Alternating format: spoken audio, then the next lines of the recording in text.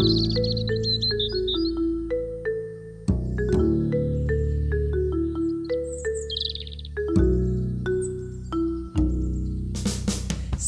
shines, it's a beautiful day, the right kind to go out and play. Rain falls and changes the plan. The fun is done before it began. Feeling lonely, the so why don't you join me today? Climb aboard, see what's in store. New faces and places and so much more. You're not alone, we're all right here to tell you God loves you, whether it's rainy or clear.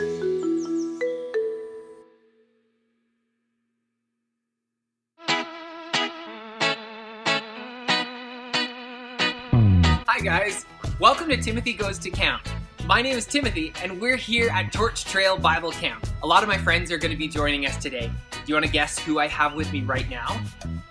That's right, it's Taylor and Shem. Are you guys ready for our day at Torch? Yeah, you bet. I can't wait. Excellent. Today at camp, we're going to go on the zip line. We'll be learning how to read a map, and if we have time, we're even gonna go on the pedal cars. Okay, come on, let's go.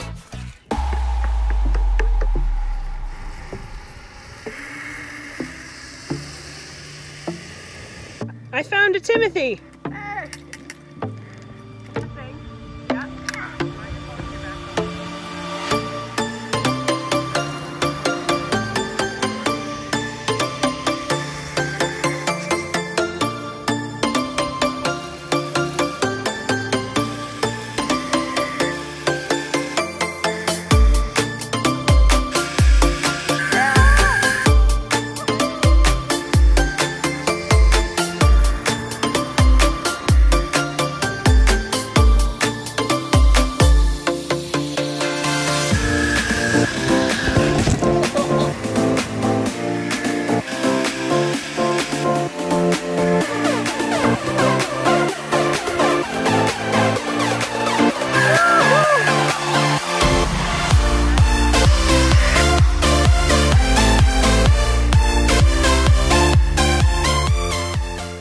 Was so much fun.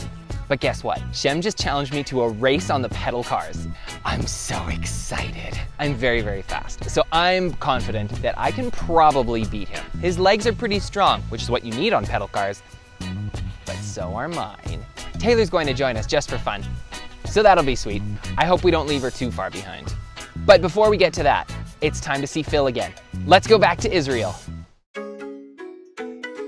Hey guys, welcome back. We're continuing our journey through Israel today. My name is Phil, and today I want to talk to you about the Sermon on the Mount. We're going to show you pictures of where Jesus likely did this. You can see that there's rocks for people to sit on. Israel has lots of rocks. They also have lots of this green grass. So people come and they would sit on these rocks and they would listen to the rabbi who was up on a hill so that his voice would travel. And you know, Jesus was likely a very strong speaker as it was because he spent a lot of time speaking. But on a hillside, a lot more people could hear. And this is in the Galilee region, like we learned about. So the water will have helped him in that as well. So Jesus and thousands maybe of people are sitting on this hillside and he gives them this amazing message about what the new kingdom looks like. It's not like a normal kingdom, it's God's kingdom. I hope you can see it better now and visualize what it was like for the people to hear this amazing sermon about this amazing kingdom. Thanks for joining us. We'll see you next time.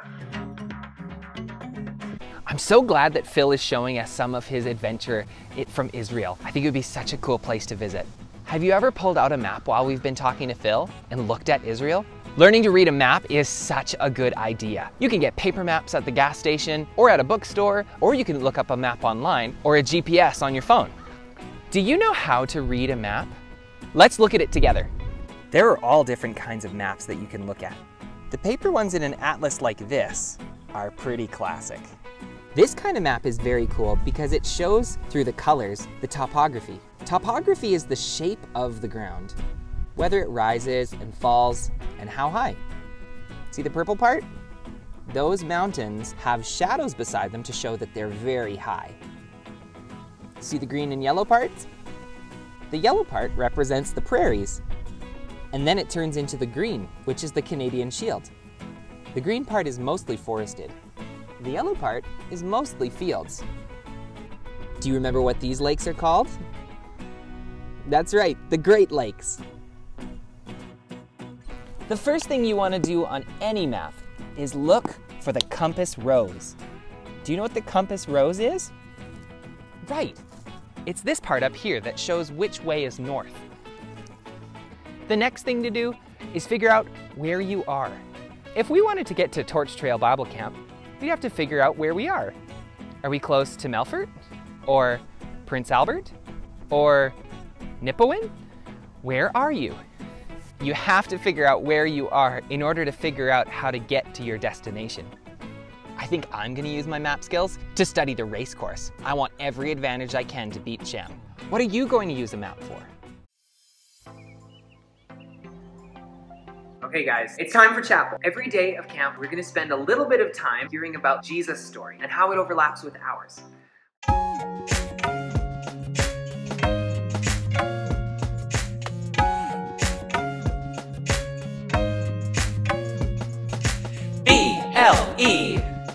S S E D. B L E S S E D. Blessed are the meek, for they will inherit the earth. Blessed are the meek, for they will inherit the earth. B L E S S E D. B L E S S E D. And blessed are those who hunger and thirst for righteousness. Blessed are those who hunger and thirst for righteousness, for they will be filled. For they will be filled. B L E S S E D. B L E S S E D.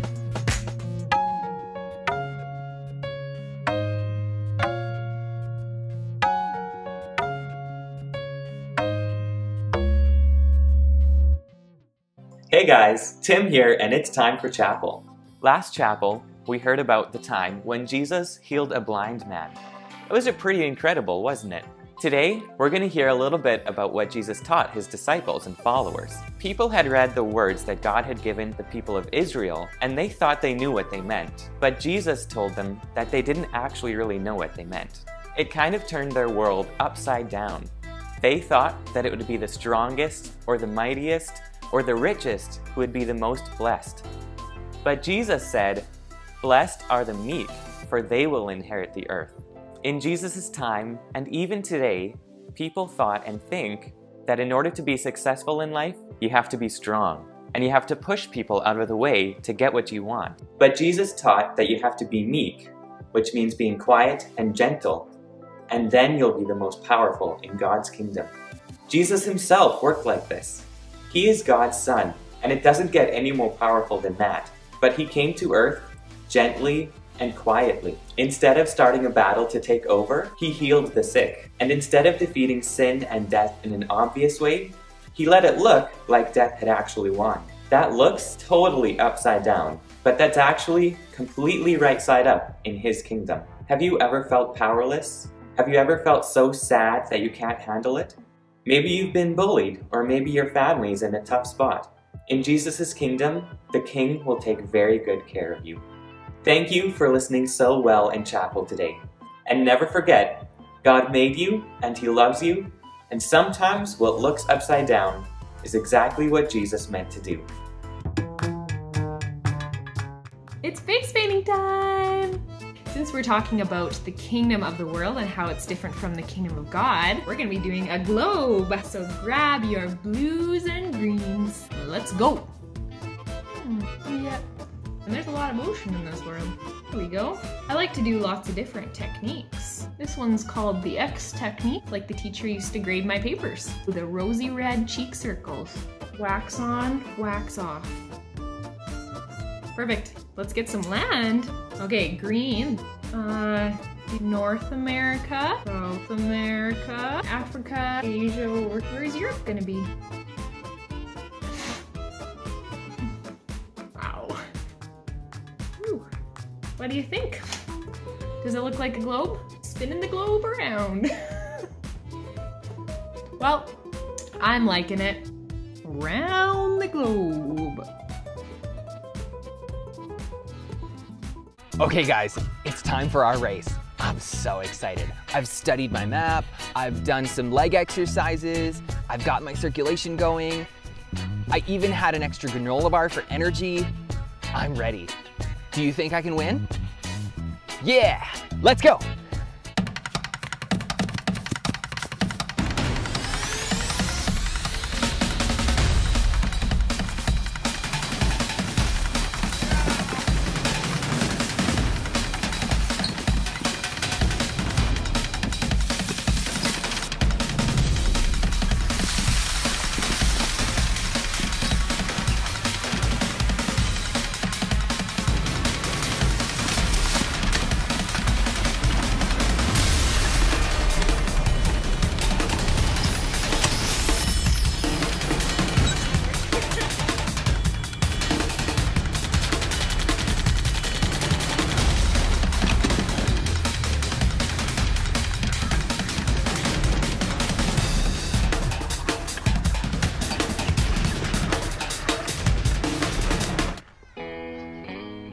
I'm amazed. Taylor was just with us for fun, and she's not the fastest of us, but she still won.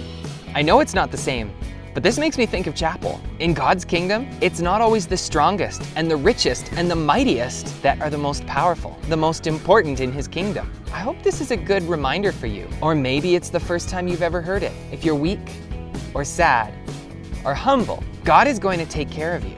Thanks for coming to camp today.